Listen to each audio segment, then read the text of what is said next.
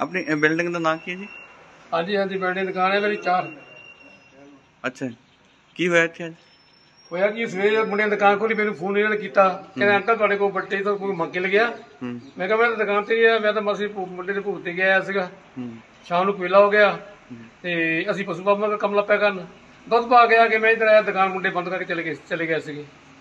ਤੇ ਜਦ ਸਵੇਰੇ ਮੈਨੂੰ ਇਹ ਮੁੰਡਿਆਂ ਦੀ ਦੁਕਾਨ ਖੋਲੀ ਆ ਕੇ ਉਹ ਮੇਰੇ ਫੋਨ ਕੀਤਾ ਕਹਿੰਦੇ ਅੰਕਲ ਕੋਲ ਪੱਟੀ ਲੈ। ਮੈਂ ਕਿਹਾ ਮੇਰੇ ਕੋਲ ਤਾਂ ਕੋਈ ਲਗਾਈ ਨਹੀਂ ਹੈ। ਤੇ ਫਿਰ ਹੁਣ ਜਦ ਦੇਖੇ ਤਾਂ ਹੁਣ ਮਤਲਬ ਜੀ ਗਾਇਬ ਆ ਤਾਂ ਚੋਰੀ ਹੋਈ ਆ। ਕੀ ਕੀ ਲੈ ਕੇ ਸਮਾਨ? ਇੱਕ ਸਾਡਾ 2 ਫੁੱਟ ਦਾ ਕੜਾ ਸੀਗਾ ਉੱਤੇ ਤਵੀਆਂ ਪੁੱਟੀ ਦੀਆਂ ਸੀਗੀਆਂ। ਲੋਹਾ ਵੱਡਾ ਵਾਲਾ ਇੱਕ ਆਇਰਨ ਸੀਗੀ ਇੱਕ ਨਾਬ ਹੁੰਦੀ ਆ ਉਹ ਵੀ ਬੱਟਾ ਹੁੰਦਾ ਕੋਲ ਤਰ੍ਹਾਂ ਇੱਕ ਚੌਸ ਬੱਟਾ ਸੀ।